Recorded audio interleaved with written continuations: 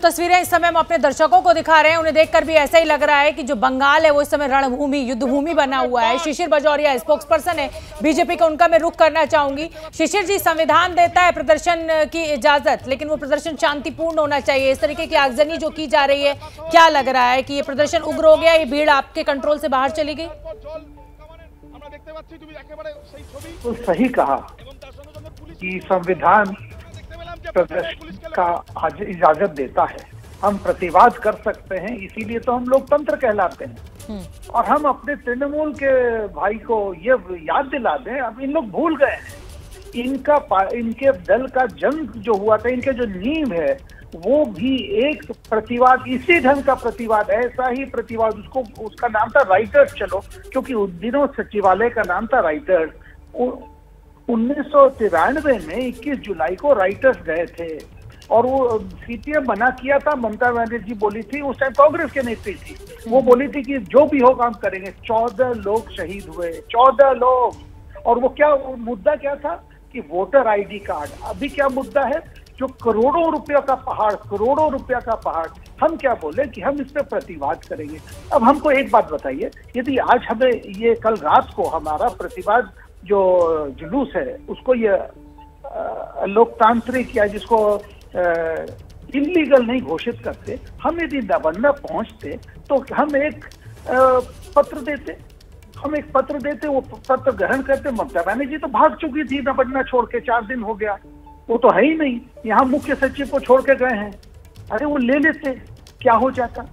क्या हो जाता? आप तो नैतिक जीत तो हमारी कल रात को ही हो गई। ठीक है। जबकि उत्तर बंगाल के चारों तरफ़ स्टेशन में हमारे कार्यकर्ता को पश्चिम बंगाल का पुलिस रेलवे प्लेटफॉर्म में घुस के पकड़ रहा है। जहाँ वो जा नहीं सकता है। हम्म, ठीक है, जवाब ले लेती हूँ। मानव जायसवाल, टीएमसी के नेता हमारे साथ जुड़े हुए हैं। मानव जी, अगर इजाज़त दे देते तो शायद ये शांतिपूर्ण तरीके से ये बीजेपी के कार्यकर्ता, बीजेपी के नेता पहुँचते, सचिवालय अपना पत्र देते और वापस लौट जाते, ये अपनी बात दर्ज कर देते, जनता तक संदेश पहुँच जाता और इस तरीके की बवाल की स्थिति भी नहीं खड़ी होती। आपकी पुलिस को इस तरीके से घमासान भी नहीं लड़ना पड़ता। ये क्या माना जाए कि ये प्रशासन या मिसहैंडलिंग हुई है इस पूरे जुलूस की या इस पूरे प्रदर्शन को लेकर? मैडम पहले तो सभी को मेरा नमस्कार है। नमस्ते सर। देख पा रहे हैं? जी मैं आपको देख पा रही हूँ सुन भी पा रही हूँ। बोलिए। I can not see you बहरहाल जो भी है मैं- जो आपको बोलना चाहता हूँ देखिए ये हमारे जो शिशिर बाजुरिया साहब है ये बीजेपी के नेता हैं। बहुत अच्छी चीज़ उन्होंने बोली 21 जुलाई उन्नीस सौ तिरानवे को इनको याद आ गया। वो किसकी लड़ाई थी? और किन लोगों ने अपने प्राण गंवाए थे? और कौन शहीद हुए थे? और कितनी लाठियाँ हमारी नेत्री ने खाई थी? आज बीजेपी जो है, जो भारतीय झुट्टा पार्टी जो है, ये पूरे देश में बोलती है कि भाई, करप्शन है करप्शन है। करप्शन तो इनके पास है।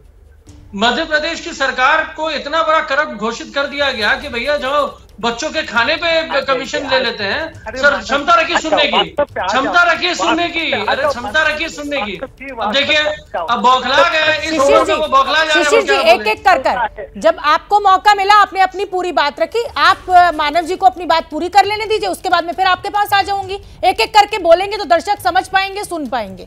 जी मानव जी बात पूरी कीजिए। मैडम सिलसिले सिलसिलेवार तरीके से मैं आपको बताना चाहता हूँ। जो हमारा सचिवालय है वहाँ पे 144 होता है। सेक्शन 144 से सीसी जी को इसका ज्ञान नहीं होगा कि वहाँ भीड़ नहीं हो सकती वहाँ पे वगैरह वगैरह बहुत सारी चीज़ें हैं। और जहाँ पे ये जो भारतीय जनता पार्टी है ना इस तरीके से इन्होंने हमारे प्रांत के बच्चों को बरगला दिया है। देखिए एक तरफ़ शुभेंदु अधिकारी रहते हैं दूसरी तरफ़ इनके सुकांतो जी रहते हैं किसी तरफ़ अनुपम हाजरा जी रहते हैं दिलीप घोष जी कहीं दिखते नहीं हैं। ये जो चार तरफ़ का इनका जो आपस में ही इतना मतभेद है ये ये जागरूक हो जाता है। ये बहुत ज़रूरी भी है। पीसफुल ये बोलते हैं लेकिन पत्थरबाजी ये करते हैं।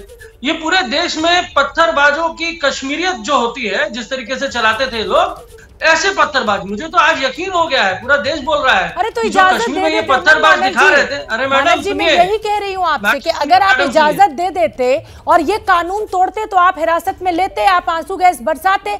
आपने तो कल ही इजाज़त की इजाज़त नहीं दी और उसके बाद ये भीड़ उग्र हो गई। बिल्कुल कि भैया आप बोलना चाहती है जो पुलिस वहाँ काम कर रही है वो मर जाए। लहूलुहान हो जाए लेकिन इनके पत्थर खाते इनके इनके डंडे खाते रहे ये बैरिकेड तोड़ते रहे गाली गलौज करते रहे। माने ये है बीजेपी का नया छवि मतलब बीजेपी की नई पिक्चर ये है बीजेपी का शिष्टाचार। आप बोलना चाहती हैं पत्थरबाजी लीगल है। पत्थरबाजी करना ज़रूरी था। बोतल फेंकना ज़रूरी था।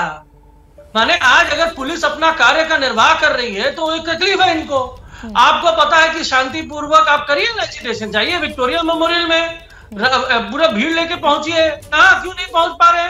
क्योंकि भीड़ नहीं है। ये। पैसे देके बारह सौ रुपए अठारह सौ रुपए देके जो ये भीड़ इकट्ठा कर रहे हैं हम्म। क्योंकि सबसे ज़्यादा करप्शन तो भाजपा में है। हम्म। आज अगर एक एक चीज़ इनकी ऑडिट की जाएगी तो मैंने पैसों का अंबार ऐसा दिखेगा जो आँखें चौंधिया जाएँगी सभी की। ठीक है आज करप्शन की ये बात करते हैं।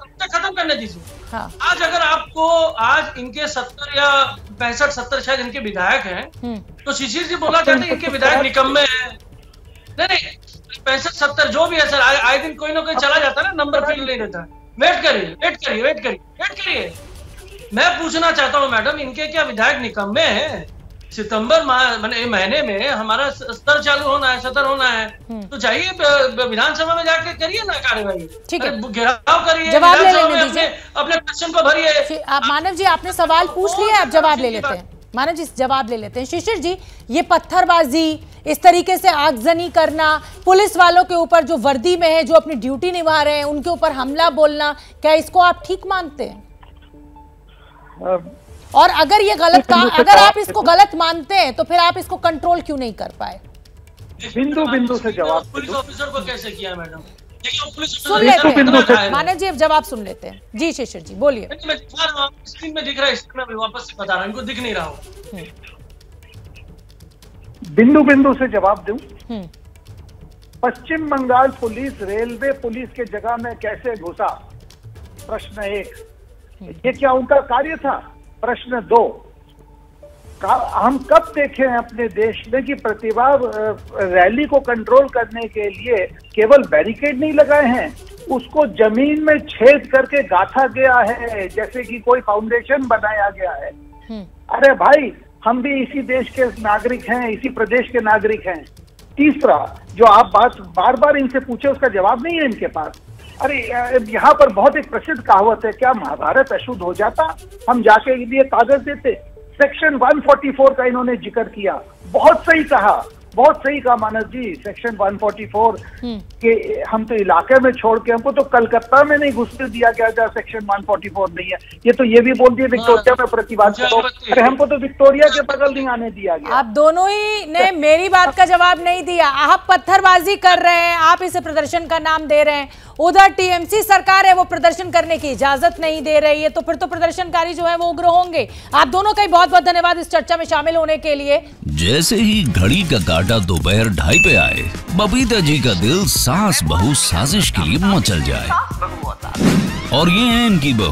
पूरे दिन ऑफ़िस की टेंशन हो जाए गॉन जब ये करें अपना फेवरेट शो फ्री टाइम पे ऑन इनकी तरह आप भी देखिए अपना फेवरेट शो अपने टाइम पर। और डाउनलोड कीजिए एबीपी लाइव ऐप अपने स्मार्ट टीवी पर।